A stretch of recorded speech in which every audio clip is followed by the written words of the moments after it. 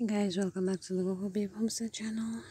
Today I'm gonna show you how I how I grew sugar cane from the bumps.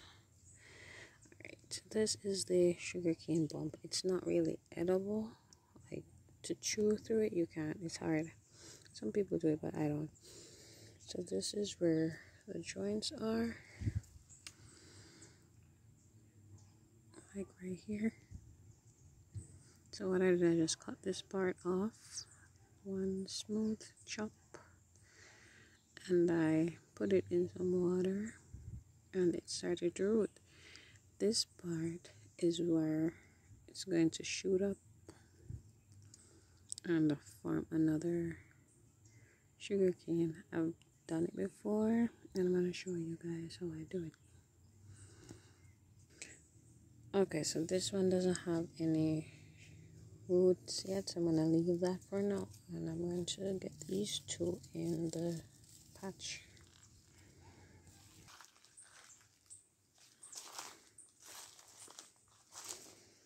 okay so this is the little patch that I have that I successfully grew from sugarcane bumps I have to barricade it so that nothing walks in there and tramples it down.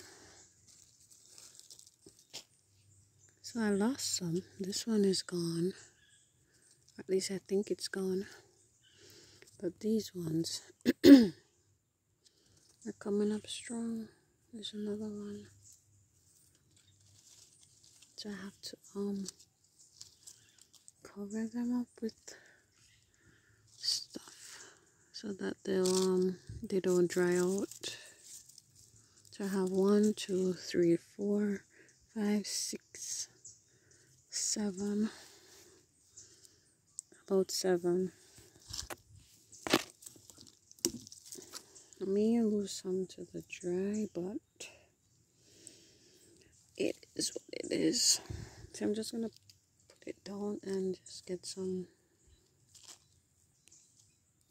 soil around the roots a bit.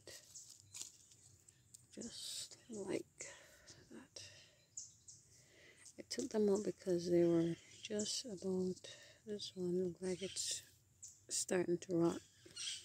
So I'm gonna put this one right here. I'll put it right here.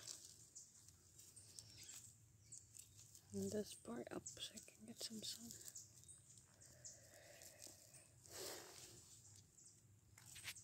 I'm not doing too much, just um, lightly covering the roots so they can get the airflow as well as the nutrients from the soil and the moisture. So I'm just going to put back some leaves here so that they don't dry out. Just lightly covering them. We've been getting a bit of rain, so that should be fine. So I'm to put this back right here to keep them cool. And that's how I grew sugarcane from the sugarcane bumps. Anyway guys, thank you for watching. Don't forget to like, subscribe, and share. Bye.